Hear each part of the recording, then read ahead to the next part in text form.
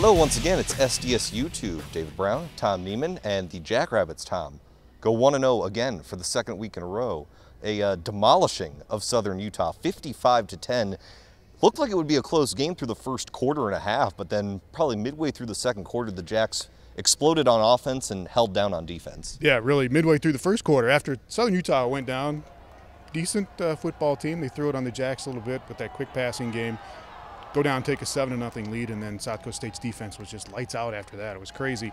And Stig said they didn't make a lot of adjustments. They just kind of took a deep breath and settled in, and pretty much shut Southern Utah down the rest of the way. And then the offense got rolling, and the Jag. There were so many concerns about this offense, and they've scored 41 at Kansas, 55 now against Southern Utah. Uh, we'll see what they can do against Robert Morris coming up, but the offense looks pretty good. It seems to be fine right now. Yeah, the offense seems to be fine. The defense, as you said, though, needed a little adjusting. Kansas ran tempo. They ran hurry up, and they had a little bit of trouble in that game. And then Southern Utah came out, and their first, their only touchdown drive, Jacks had trouble with it. But as you said, they found a way to adjust. They did, and just. Uh, played straight up, got after the quarterback a little bit. The Jacks had their first three sacks of the season in this game, first one of the year by uh, Cole Langer.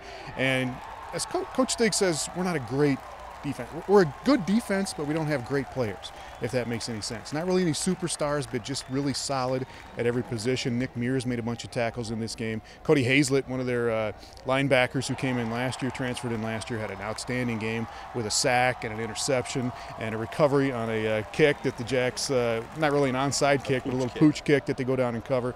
So the defense just just went lights out after that first Southern Utah drive. And the offense, Brady Mengarelli, 143 yards and two touch, three touchdowns in this game, as uh, he got rolling offensively. Zach Lujan was great again, was just throwing it right where it needed to be, and uh, they put up 55 points and uh, get to 2 0 with this win. You mentioned Mengarelli, you mentioned Lujan. Of course, the superstar is Jake Wieneke.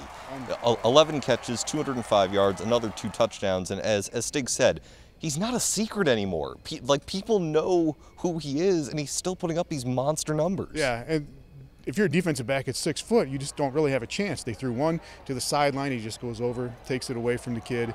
Um, they threw a fade pass to him that was just impossible to defend.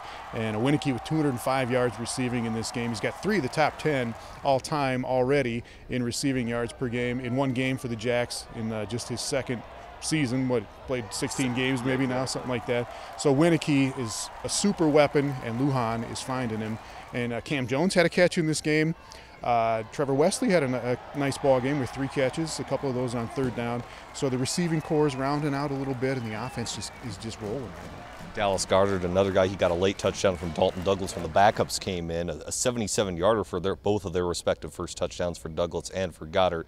Well, looking ahead now, they're they're two and zero, oh, but they have this weird bye week that, that's placed here because they don't really want to break up the Missouri Valley football schedule. So they have two weeks until they face Robert Morris, another FCS team is is the bye coming at a bad time just because of all the momentum that's happening right now? I think so. Yeah. I mean, you would like to keep playing, I think, but they're going to turn it into a positive. I mean, Stig's very good at doing that. Just uh, make it into a positive thing. They're going to try to get their guys home if they can get home and uh, see their families this weekend, and then uh, come back and get ready for Robert Morris. Probably doesn't come at a horrible time. I don't know if there's ever a good time for a bye week. There probably is later in the season if you're banged up a little bit, but they're going to turn it into a positive, come back against Robert Morris, and then they got North Dakota State the week after that. So they get a game before they get into the Valley, and uh, the Bison come to Brookings.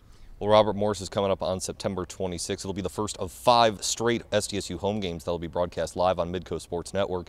Stig said Robert Morris a bit of a triple option team, kind of like Cal Poly last year, where it's a lot of a lot of things that people really aren't used to seeing and Stig, Stig likes to use the phrase communist football sometimes, but he yeah. says this isn't communist football. This is legit football. Yeah, he doesn't like it when you spread it out with five wide receivers and just throw it all over the place. But he he respects this triple option where, like you said, there's so many options. Uh, you got wide receivers flying by, and you can give it up the middle of the big man. You can do all these things in this triple option set.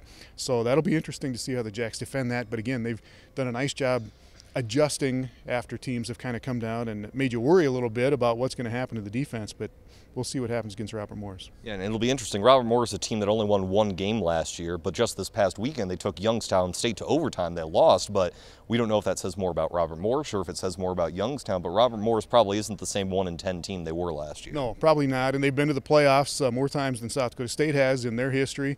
So uh, it's going to be interesting. But again, good good test just to see some of these teams that you never get to see and some of these offenses that come in that you don't get to see very often. And um, South Dakota State, we'll, I, I just you just get a really good feeling about they're going to get another victory against Robert Morris. You would think.